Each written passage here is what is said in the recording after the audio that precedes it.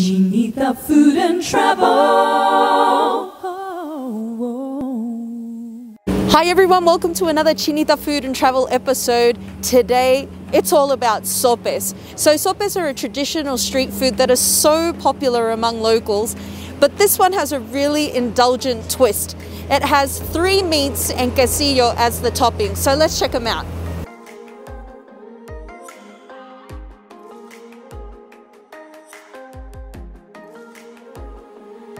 This stall is always packed out because the food is so delicious. Now before we dive into the sopes, let's check out the other food items that they sell.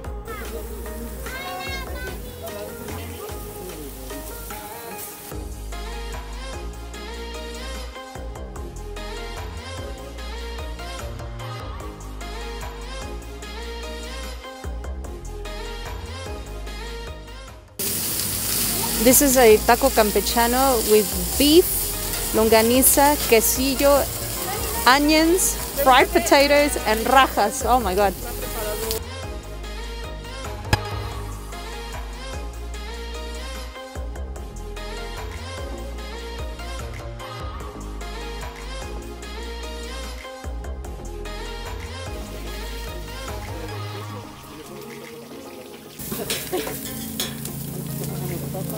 And you get a free glass of ponche.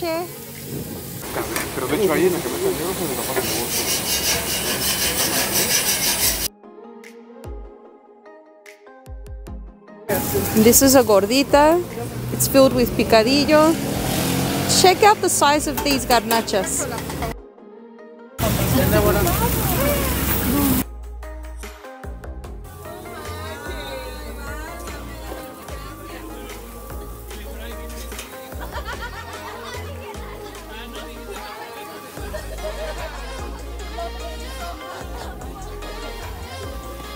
Sí,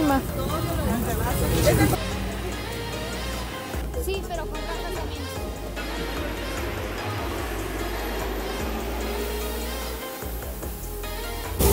Look at all that cheese that goes on the quesadilla. That's massive. That's so much cheese.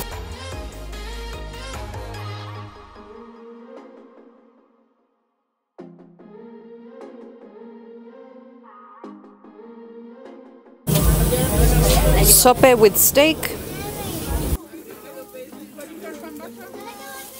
And now Judith is going to prepare the sope especial.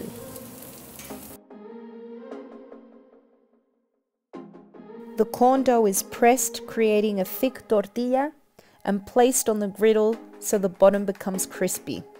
Sopes are characterized by their pinched edges, creating a shallow well for all of the toppings to go on. Bistec, longaniza, pechuga, quesillo.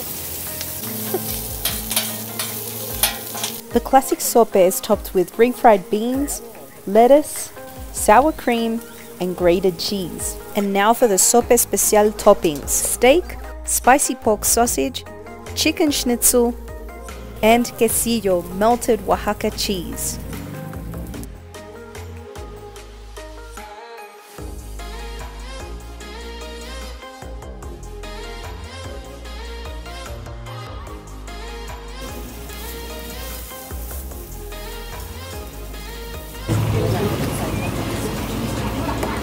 It's massive. Look at that. It's just massive. Look at that.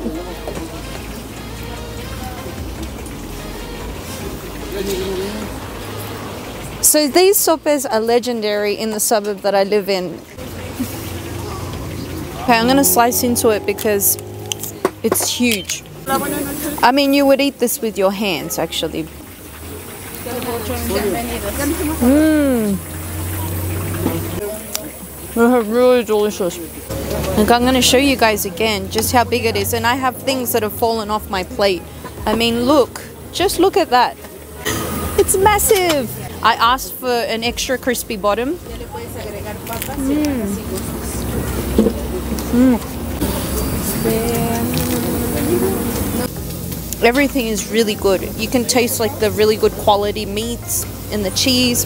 The salsa verde is just over the top because it's one of my favorites. It's the raw salsa verde.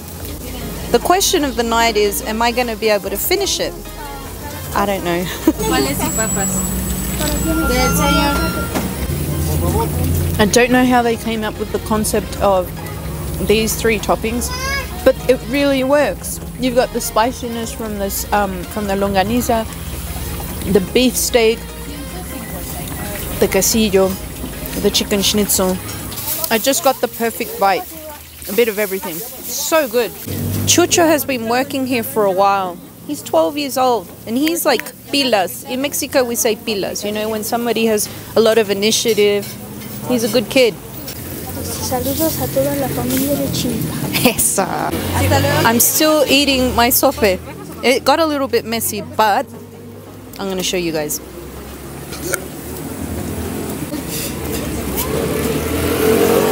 And I'm already full. Guess how much this sope costs? Take a moment, guys. Think about it. Ballpark figure.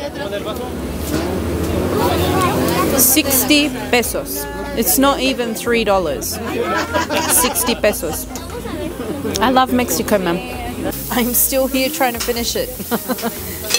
I've got about a third to go. I'm so full, man.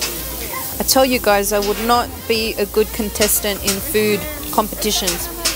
These street food stalls are part of the livelihood of a neighborhood. Families come and have dinner with the kids, many generations of families. So it's really cool to see the bustling energy that these stalls have and the importance that they have in each neighborhood. Guys, I know I've done a lot of episodes on street food here in Mexico, but I just had to share this sope especial with you guys because it was huge. I did finish it, but I'm completely stuffed.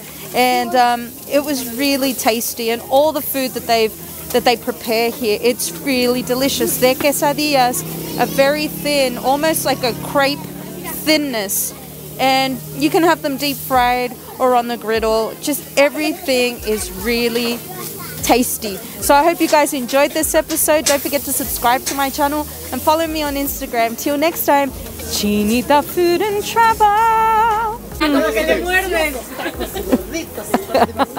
Ya lo quedas así con tu gordita, güey. ¿Sí tuvo la toma? Sí. Venimos diario en las tardes. De hecho, aquí es- venimos a cenar. Primera vez y me encantó, por cierto. ¿eh? Ay. Un like, un like para estas chicas. Se la rifaron. Como son- un beso para con Toño y este cuate. ¿Qué le hicieron al café? Lo siento, pero como que me siento medio extraño. Estás para allá, güey.